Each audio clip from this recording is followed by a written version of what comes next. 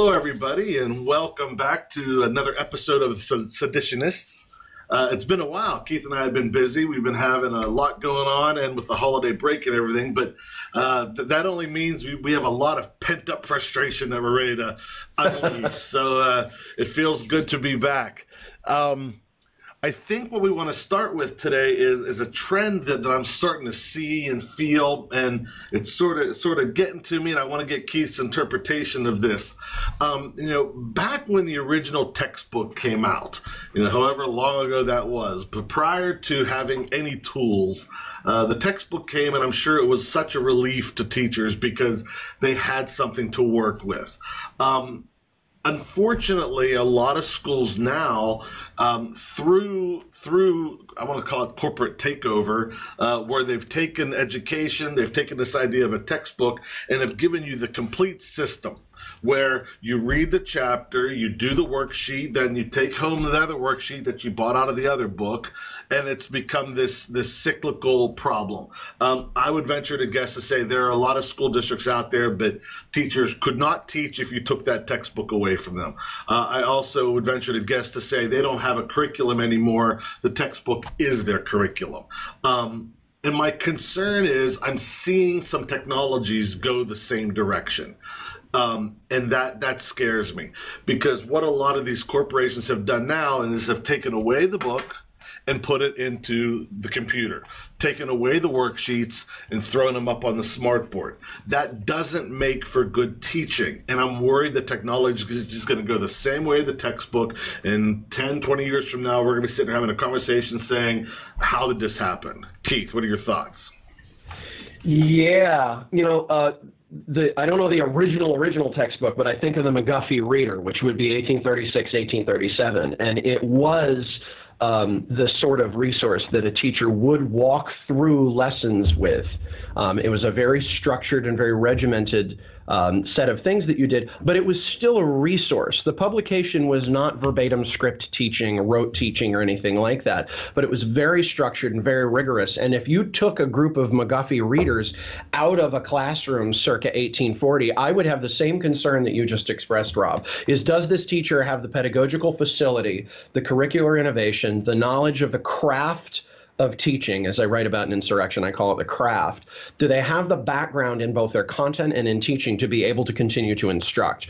Has the McGuffey reader become not just a resource, not just a tool, but it has become the hub around which all other teaching must occur.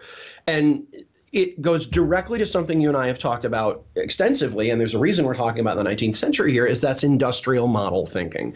To say that this is the way we're going to do it is a very regimented approach, and you can't deviate from that. If technology is being used in that way, well, there's a there's a quote that um, a mentor of mine, uh, Priscilla Norton, used in grad school that stuck with me. And she said, as teaching educational technologists, lots of people think of us as you know the IT guys. We're not that. You know, I mean, Rob and I have had this discussion a hundred thousand times. My background is pedagogy. I'm a teaching teacher. I teach teachers how to teach better. That's my role. Technology is any tool that mitigates that mediates the learner and their environment. A book is technology. It is the original form of educational technology. Well, maybe not the original. I guess clay tablets would be right. Um, if that becomes the thing and you can't do anything without it, and your pedagogy is focused on the tool, you've lost child centeredness and genuine teaching. So I was having a conversation with my math coach earlier today. You're talking about using manipulative apps. If you have a bin of manipulative blocks in a math classroom, use those, right? The app may become an, an, an analog to that to demonstrate mastery 30 kids at a time rather than one at a time but it, the technology is supposed to provide additional opportunities for good teachers. It's not supposed to be just one thing. Probably the most distilled and extreme version we see of that is online learning, where the curriculum is unbelievably linear, unbelievably scripted and rote. And if it, those applications of technology, to me as an educational technologist, are very disturbing. Absolutely, and um, I want to I want to quote. I, I, think it was Steve Jobs that said this, but I'm not sure. Um, I'll have to look it up. But um, there was always a really interesting quote. This was back when uh, teachers got very concerned that technology was going to take over uh, education, and and the, the gentleman said, uh, "A quality teacher will never be taken away by technology." Um, now I think we need to look at that statement as quality you know, yes, there are teachers that could be replaced by technology very easily. It's the quality teachers, the ones that are going to go beyond what we can create with technology that are going to still be around. Think about this. Think about Watson. Think about um, even uh, Amazon Echo. You know, it's getting to the point where you can create chatbots to ask you challenging questions, digest your answer, and personalize for you on the spot. That's going to be the future of tutoring. Wouldn't be surprised if it's the future of a lot of our cyber schools because it's going to be cost effective and it's just as good as a human brain. So as a teacher, think about this. What are you going to do differently that a chat bot can't do? That's create situations, simulations, ideas, uh, debates and all of those things that Keith and I talk about. That's how you're going to become something unique. That that's how we're always going to be able to trump the AI intelligence. Because if you don't, they're coming, people. Keith.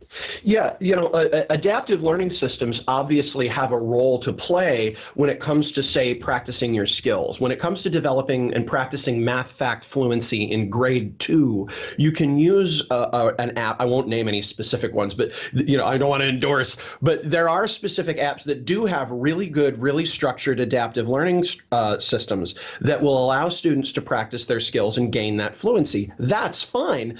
It's a supplement to the teacher who might otherwise be saying one at a time and take kids through it. Now you can do more with less in terms of time because of the simultaneity.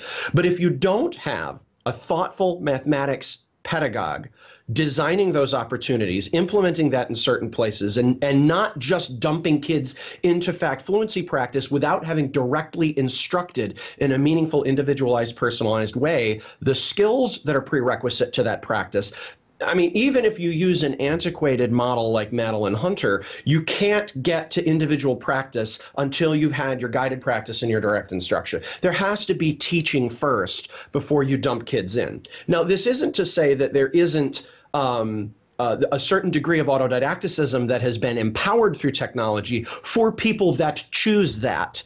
Like I, the other day, I screwed up the laminator I, but I, amazingly enough, I was making something with paper. We were making a sign for our new recycling center, right? You gotta and be it, careful. Like man. people were like, "Teachers will get you if you break their stuff." No doubt, and like, and particularly the poor lady in the front office was like, "That's my baby over there," and so, and uh, of course, people are looking at me. They're going, "Is Reeves printing?" they're like, it, "It's the fourth horseman. It's the sign of the apocalypse." But I did this thing, and I fed it, and somebody hadn't let it feed through in the back, and it got wrapped around the roller. And Marty, the lady in the front office, was like, "Do you want me to come fix it?" And I'm like, "I got this, fam," because it's a new skill that I want to have. I don't want to become the laminating police, but I don't know how this piece of technology works. I'd like to learn got a YouTube video, watched it, taught myself because those modalities work for me. There are plenty of kids out there that are doing the same thing with everything from coding to building furniture to inventing. That's fine. We can afford students the opportunity to be autodidactic without abandoning them to autodidacticism and insisting that they be alone. If we do not have a thoughtful pedagogical practitioner designing personalized experiences based on our understanding of that individual child's uh, development, modality, and preference. No technology could possibly be used thoughtfully in that way. You know, we've got to be, we got to have the adult first, the the human first, just like you said. Absolutely. All right, I'm going to make one more point, and then we're going to wrap this up here. One more point for you, Keith, and this is for all you teachers out there. I want you to really think about this and I want you to answer this question as honestly as you can because I think if you answer it honestly, you're going to sort of get a feel for what Keith and I are trying to say here. Because we can talk to her blue in the face, but until you feel it and, and you can experience what we're trying to say, I'm not sure you're going to get it. So, Keith, we're going to use you as a guinea pig here, buddy. can you tell me, think back to a time that you had probably one of the best lessons you've ever had from a teacher? Just one of those moments that you were just like, this is so awesome. I learned some stuff what was the experience like? Can you tell me a little bit about the lesson? Uh, my biology teacher in high school, Dr. William Kushner, genius teacher, really into experiential learning, so in authentic situations. We did a lot of lab. We did a lot of actually doing the thing um, in, in learning the different aspects, particularly when it came to some of the biological chemistry components of learning college level biology in high school. Um, I was energized. I was excited. I was entertained because he was such a good storyteller, but it wasn't all about him. It was giving us the opportunity to do the thing. So I was active, I was engaged, I had choice because I wasn't forced to work with certain people. So the learning environment really worked for me because it afforded me choice, it afforded me preference. I was given the opportunity to express myself visually, which I was much better at than writing. So I felt comfortable, engaged, energized, interested. It was an exciting lesson. Excellent. Some of the, some of the things that I pulled out from that comment was uh, it fits your style. It, it was did. fun. It was entertaining. So think about that for a minute. Now, what I'd like you to do, Keith, is tell me your favorite worksheet that you did back in fourth or fifth grade, and what did you learn from that favorite worksheet? I don't remember ever remember favorite worksheet. I remember hating worksheets. I remember losing worksheets. I, I remember being point. punished for not doing worksheets, yes. even though I did well on the test. Yeah, I, I, hated that crap. I think that's the point. The point is, folks, you don't you don't have those memorable moments with with with the garbage lessons. You know you yeah. remember these experiences the simulations the things that were entertaining the things that were uh, engaging. That's what you remember as a future student. And if you don't remember it now chances are you're probably not using the skills right now either because you just simply don't remember it. If you remember like i remember doing a fifth grade simulation on colonial times and we actually had to act like colonial students where awesome. you know we had the dunce cap if you did something wrong. I mean the whole whole nine yards. And I remember that. And I could tell you, I have a fairly strong historical understanding of that time period because of that simulation. If they'd have given me worksheets and made me read it or just sit there and do, I, I wouldn't remember a thing. So I think that's our point. Keith, wrap us up, buddy. Yeah, man. Uh, I, I I failed fourth grade mathematics not because I didn't have the skills, but because I was punished for not cottoning on to this thing that bored me to tears. And I have often wondered over the years what my life could have been like if I hadn't been turned off math because I was forced to do this grueling industrial nonsense that even then, prior to any study of pedagogy, I knew just didn't work for me. Um, that's it for another episode of The Seditionists. Get down there in the comments. Make sure you subscribe, share around. Tell us what you want to hear us talk about. Thanks as always for your comments. Rob Furman, Keith Reeves. See you next time. Bye, everyone.